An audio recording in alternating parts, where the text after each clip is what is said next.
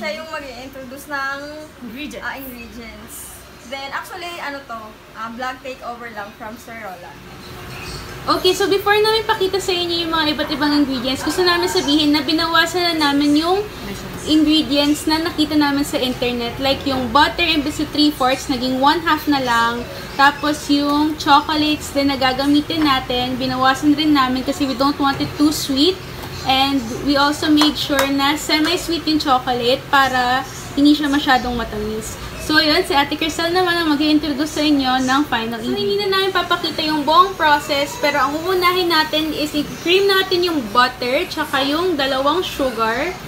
Um, kaya siya white and brown sugar para maging chewy yung cookies. Tapos, paghahaluin muna natin sila. Pag naka-cream na silang tatlo, ang i-add naman natin is yung eggs and then yung vanilla extract. Then, we'll mix it all together. Then, after that, imimix na rin natin yung vegetable oil.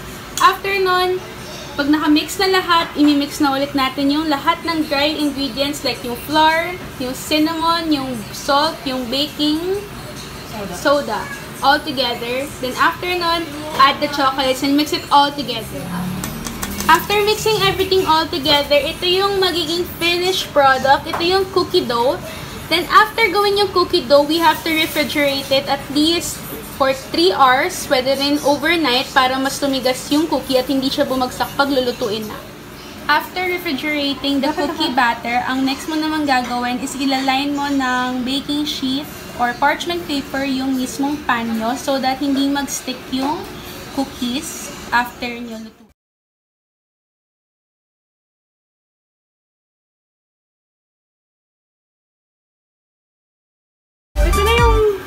Itsura ng ano, ng cookie na na, na flatten namin. Tapos lagyan namin siya sa oven. Go.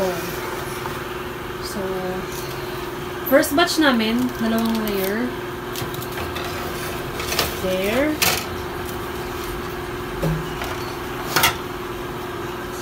So, go. Go! Ayan na siya. Antayin na natin siya. Cook.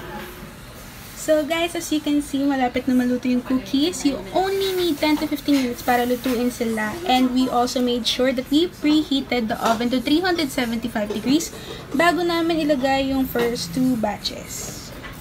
So after 15 minutes, ito na yung finished product at titikman siya ni ate kasi mo. Sarap siya. Ano yung crunchy yung labas? Tapos may stew. Pakita mo ate kasi.